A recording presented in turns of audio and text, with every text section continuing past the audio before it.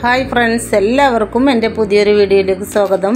ഇന്ന് ഞാൻ എന്റെ അഗ്ലോണിമാസ് എല്ലാം തന്നെ ഞാൻ മഴ കൊള്ളുന്ന ഭാഗത്തേക്ക് മാറ്റി വെച്ചിരിക്കുകയാണ് കേട്ടോ. സ്റ്റാൻഡിൽ നിന്നൊക്കെ എടുത്തിട്ട് അപ്പോൾ മഴയൊക്കെ കൊണ്ട് സുന്ദരികളായി കുളിച്ച് അങ്ങനെ ഫ്രഷായിട്ട് നിൽക്കുകയാണ് കേട്ടോ. മഴവെള്ളം ഈ പ്ലാന്റ്സുകൾക്ക് കൊള്ളിക്കുന്നത് വളരെ നല്ലതാണ് കേട്ടോ. മഴവെള്ളം തട്ടിയാൽ പെട്ടെന്ന് തൈകളൊക്കെ വരും. അതുപോലെ തന്നെ എന്റെ ഇന്നത്തെ വീഡിയോ കൂടുതൽ തൈകൾ വന്ന ഒരു പ്ലാന്റ് നമുക്ക് എന്ത് ചെയ്യാമെന്നുള്ളതാണ്. അപ്പോൾ വീഡിയോ മുഴുവനായിട്ട് കാണുക. നമുക്ക് തൈകൾ പെട്ടെന്ന് വളർന്ന് കിട്ടാനാണ് ഈ ഒരു ടിപ്സ്. അഗ്ലോണിമ ചെടികൾക്ക് കൂടുതൽ വെള്ളം ആവശ്യമില്ല. അതുകൊണ്ട് ചെറിയ മഴ പെയ്യുന്ന സമയത്തൊക്കെ നമ്മൾ ഇതേപോലെ ഇറക്കി വെച്ച് കൊടുക്കുക കേട്ടോ. അപ്പോൾ നമുക്ക് ഇന്ന് ഈ ഒരു പ്ലാന്റാണ് ഞാൻ കട്ട് ചെയ്ത് മാറ്റുന്നത്. ഇതിലൊരുപാട് തൈകൾ വന്നിട്ടുണ്ട് കേട്ടോ റിഫ്ലക്ടർ എന്ന് പറയും ഈ ഒരു പ്ലാന്റ് നിറയെ വൈറ്റ് ഡോട്ടൊക്കെ ആയിട്ട് വരുന്ന ഒരു പ്ലാന്റാണ് അതേപോലെ തന്നെ ലീഫിന്റെ സെന്റർ ഭാഗത്തൊരു വൈറ്റ് ലൈനൊക്കെയാണ് വളരെ ഭംഗിയാണ്. നല്ല ഡാർക്ക് ഗ്രീനാണ് കേട്ടോ ഈ ഒരു പ്ലാന്റ് അപ്പോൾ ഇതിൽ നിറയെ തൈകൾ വന്നിട്ടുണ്ട്. പക്ഷേ ഈ ഒരു പ്ലാന്റിന്റെ ഒരു പിന്നെ വലിപ്പം കൊണ്ട് ഈ തൈകൾ വളർന്ന് കിട്ടാൻ കുറച്ച് പാടുണ്ട്. അപ്പം ഞാൻ അതൊന്ന് മാറ്റി കട്ട് ചെയ്ത് കൊടുക്കുകയാണ് അപ്പോൾ ഇതാട്ടോ കട്ട് ചെയ്ത് എടുത്തിട്ടുണ്ട്. അപ്പോൾ നമ്മൾ കട്ട് ചെയ്തെടുക്കുമ്പോൾ അതേപോലെ കുറച്ച് വേരും കൂടെ നിർത്തിയിട്ട് വേണം കേട്ടോ. കട്ട് ചെയ്യാൻ ഇതിന്റെ ഓരോ ലീഫും വെച്ച് നമുക്ക് ഈ വേരുള്ള ഭാഗത്തു നിന്നൊക്കെ ഓരോ തൈകളാക്കി എടുക്കാം കേട്ടോ.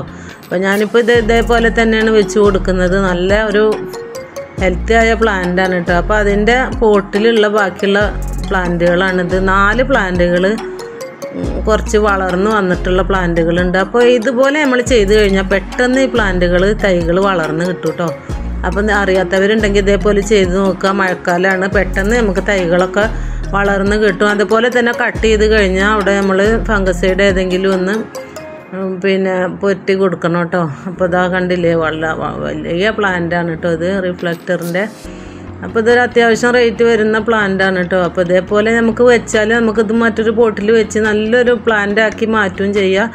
അതേപോലെ തന്നെ ആ തൈകളിൽ നിന്ന് വീണ്ടും തൈകൾ പൊട്ടി വരും ചെയ്യും കേട്ടോ അപ്പോൾ ഇതൊക്കെയാണ് നമ്മുടെ അഗ്ലോണിമ പ്ലാന്റ്സുകൾ അപ്പോൾ ഈ മഴക്കാലമായാൽ നമുക്ക് അതിന് കൊടുക്കാൻ പറ്റുന്ന വളത്തെക്കുറിച്ചും പറയാം കേട്ടോ നമുക്ക് ലിക്വിഡായിട്ടുള്ള വളങ്ങൾ കൊടുക്കുകയാണ് ഇപ്പോൾ ഏറ്റവും നല്ലത്. കൂടുതൽ അളവിലൊന്നും ഒഴിച്ചു കൊടുക്കരുത്.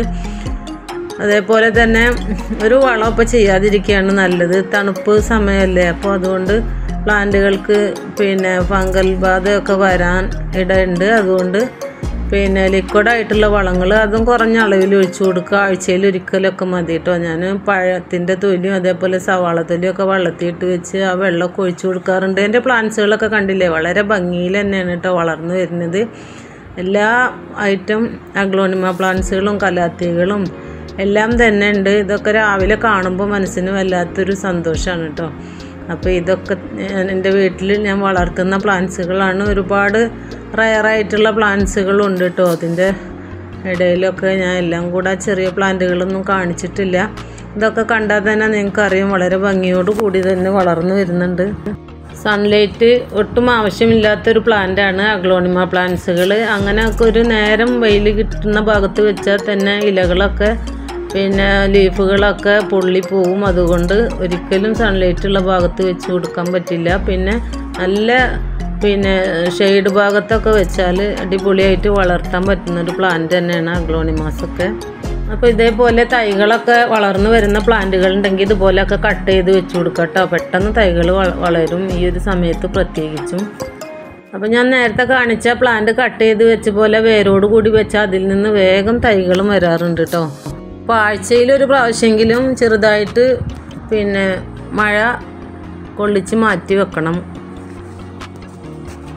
പിന്നെ വല്ലാതെ വളർന്ന് തൈകളൊന്നും ഇല്ലാതെ നിൽക്കുന്ന പ്ലാന്റുകൾ ഉണ്ടെങ്കിൽ നമ്മൾ ഇത്തിരി വെണ്ണീറും അതുപോലെ തന്നെ ഉണങ്ങിയ ചാണകപ്പൊടിയും പിന്നെ കോഴിമുട്ട യുടെ തോട് ഉണക്കി പൊടിച്ചതും കൂടെ ചേർത്ത് ചെറുതായി ഈ പോട്ടിന്റെ ഉൾഭാഗത്ത് ഇട്ട് കൊടുത്ത് ഇത്തിരി മണലും കൂടെ മുകൾ ഭാഗത്ത് ഇട്ട് കൊടുത്താൽ വളരെ ഭംഗിയിൽ തൈകളൊക്കെ വളർന്നു വരുന്നതാണ് കേട്ടോ. ഞാൻ ചെയ്യാറുള്ള ടിപ്സുകൾ നിങ്ങളോടും കൂടെ ഷെയർ ചെയ്തെന്നുള്ളൂ. അപ്പോൾ എന്റെ പ്ലാന്റ്സുകൾ കാണുമ്പോൾ തന്നെ നിങ്ങൾക്ക് മനസ്സിലാവുന്നുണ്ടാകും വളരെ ഹെൽത്തി ആയിട്ട് വളർന്നു വരുന്ന പ്ലാന്റുകളാണ്. അതുകൊണ്ട് ചിലരൊക്കെ ചോദിക്കാറുണ്ട് നിങ്ങൾ എന്താണ് വളം ചെയ്യാറുള്ളതെന്ന്? അതുകൊണ്ട് ഞാൻ ആ ടിപ്സ് നിങ്ങളെ പറഞ്ഞ് അറിയിച്ചതാണ് കേട്ടോ. അപ്പോൾ ഇത്രയൊക്കെയുള്ള വീഡിയോ. നിങ്ങൾക്ക് എല്ലാവർക്കും എന്റെ വീഡിയോ ഇഷ്ടമായെന്ന് കരുതുന്നു.